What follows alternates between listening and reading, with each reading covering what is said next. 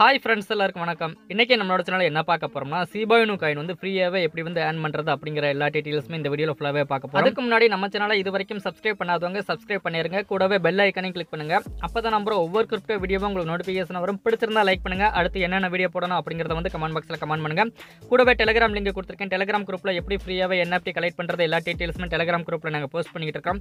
மறக்காம டெலிகிராம் குரூப்பில் வந்து ஜாயின் பண்ணிக்கோங்க. வாங்க வீடியோக்குள்ள போகலாம் இந்த சிபாயினு காயின் ஆல் டைம் ஹை போனதுக்கு அப்புறமா ரொம்பவே லோ ப்ரைஸ் ஆனது. எந்த அளவுக்கு லோ பிரைஸ் ஆனது அப்படின்னு சொல்லிட்டு பார்த்தீங்கன்னா ஜூன் மாதம் பதினெட்டாம் தேதி பார்த்தீங்கன்னா ஜீரோ பாயிண்ட் அஞ்சு ஜீரோ தள்ளி எழுபத்தி அஞ்சு பாயிண்ட் அளவுக்கு வந்து ரொம்பவே கீழே போனது. மறுபடியும் ஒரே வாரத்தில் இந்த சீபாயினு காயின் எந்த அளவுக்கு ஹைல போனது அப்படின்னு சொல்லிட்டு பார்த்தீங்கன்னா ஜீரோ பாயிண்ட் நாலு ஜீரோ தள்ளி ஒரு பதிமூணு பாயிண்ட் அளவுக்கு நல்லாவே இன்க்ரீஸ் ஆனது. அதுக்கப்புறமா ஒரே லெவலில் தான் இப்போ வரைக்கும் இருக்குது. ஜீரோ பாயிண்ட் நாலு ஜீரோ தள்ளி பதினொன்று ஐம்பதுல இருந்து பன்னெண்டு ஐம்பது வரைக்கும் அந்த அளவுக்கு தான் ஒரே லெவலில் ட்ரேடிங் ஆகிட்டு இருக்குது. இந்த சீபாயினு காயின் எப்போ நல்லா இன்க்ரீஸ் ஆகும் அப்படின்னு சொல்லிட்டு நிறைய பேர் கேட்டுட்டு இருக்காங்க சீபாயினு காயின் இன்க்ரீஸ் ஆகணும்னா முதல்ல பிட்காயின் வந்து நல்லாவே இன்க்ரீஸ் ஆகும் பிட்காயின் இப்போ ஓரளவுக்கு இன்க்ரீஸ் ஆனாலும் எந்த அளவுக்கு நல்லாவே இன்க்ரீஸ் ஆகணும் அப்படின்னு சொல்லிட்டு பார்த்தீங்கன்னா முப்பத்தி ரெண்டாயிரம் டாலர்ஸ்க்கு மேலே போனால் மட்டும்தான் இப்போ பார்த்தீங்கன்னா மற்ற ஆல்ட் காயின் இன்க்ரீஸ் ஆகிறதுக்கு அதிகமான வாய்ப்புகள் இருக்குது இந்த சீபாயினு காயின் இன்க்ரீஸ் ஆகிற வரைக்கும் நம்ம வந்து ஹோல்டு பண்ணணுமா அப்படின்னு சொல்லிட்டு நிறைய பேர் கேட்குறாங்க அது ஹோல்டு பண்ணால் தான் உங்களுக்கு வந்து ப்ராஃபிட் கிடைக்கும். ஓகே ஃப்ரெண்ட்ஸ் இப்போ நீங்கள் ஹோல்டு பண்ணுறது பினான்ஸில் ஹோல்டு பண்ணிங்கன்னா கொஞ்சம் பெஸ்ட்டாகவே இருக்கும். அதில் பார்த்தீங்கன்னா ஸ்டாக்கிங் வந்து அதிகமாகவே இருக்கிறதுனால பினான்ஸில் எந்த அளவுக்கு நமக்கு வந்து பர்சன்டேஜ் தர்றாங்க அப்படின்னு சொல்லிட்டு பார்த்தீங்கன்னா ஸ்டாக்கிங் பண்ணுறதுக்கு அதை நம்ம வந்து இப்போ பார்க்கலாம். ஓகே ஃப்ரெண்ட்ஸ் இப்போ நீங்கள் பினான்ஸ் அக்கௌண்ட் ஓப்பன் பண்ணிங்கன்னா ஹோம் பேஜ் வந்து கிளிக் பண்ணிக்கோங்க. கிளிக் பண்ணதுக்கப்புறமா அதில் மோர் செட்டிங்ஸ் இருக்குது அதை வந்து கிளிக் பண்ணியிருக்கேன் அதுக்கப்புறமா அதில் ஸ்டாக்கிங்னு இருக்குது அதையும் நீங்கள் கிளிக் பண்ணதுக்கப்புறமா அந்த ஸ்டேக்கிங்கில் சீபாயினும் அப்படின்னு சொல்லிட்டு நீங்கள் போட்டிங்கனாலே போதும்.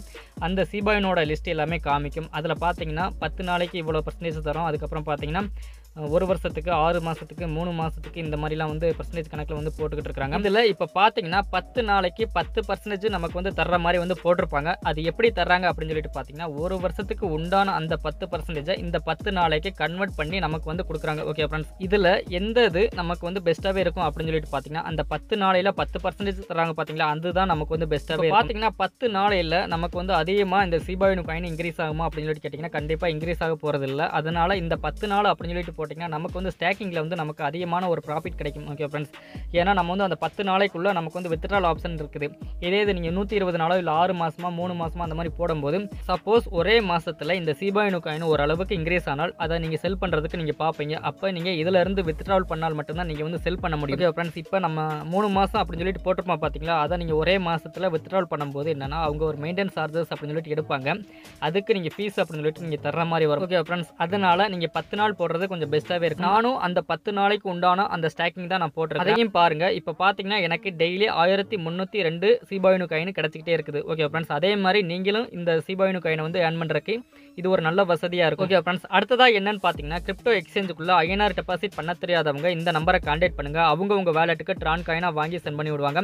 அதனால் மறக்காமல் இந்த நம்பரை காண்டாக்ட் பண்ணுங்கள் ஓகே ஃப்ரெண்ட்ஸ் நெக்ஸ்ட் இதே மாதிரி ஒரு நல்ல வீடியோவில் மீண்டும் சந்திப்போம். Thank you bye C you